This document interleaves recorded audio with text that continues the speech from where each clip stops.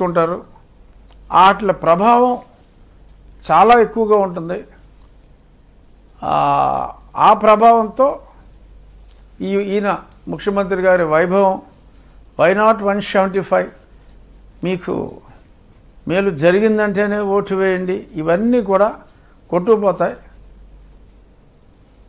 Is going to lose very badly ఈ survey no doubt it is giving close to realistic estimation but the ground reality is even better for TDP దానికి తోడు ఒక two point one percent Bhajapa అని కూడా చెప్పారు కదా. ఆ two point one percent కూడా కలిస్తే ఆ తర్వాత ఈయన ఓట్లు గతంలో ఈయన వదిలిన బాణం షర్మిల కూడా కొంత పర్సంటేజ్ని లాగబోతుంది కాబట్టి అక్కడ ఇంకొక డెంట్ పడుతుంది. అప్పుడు ఏమో ఏమో కడప కూడా పోవచ్చేమో కూడా మనం చెప్పలేం.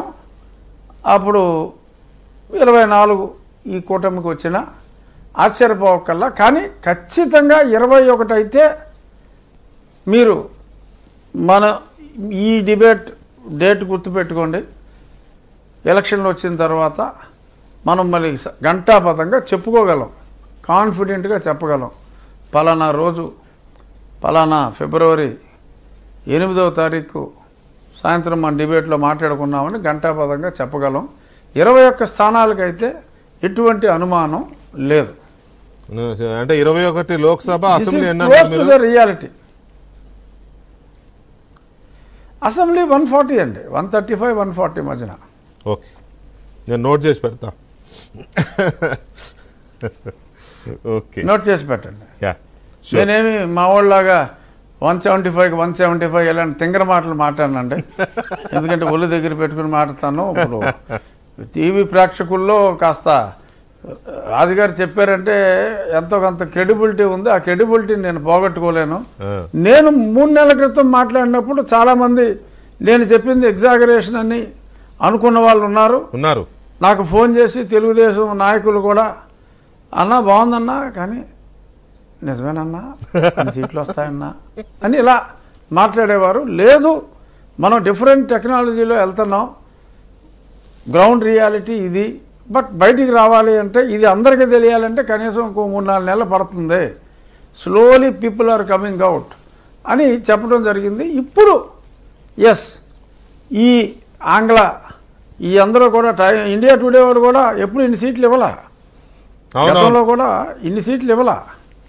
అది ఇప్పుడు ఇచ్చారు. ఎందుకంటే అది వాళ్ళ తప్పని నేను అట్లా. టైమ్స్ నో అంటే అది వేరు. వీళ్ళకి ఏంటంటే అసలు చెప్పడానికి కూడా ఎవడ మాట్లాడినా ఎందుకు వచ్చిందిరా బాబు?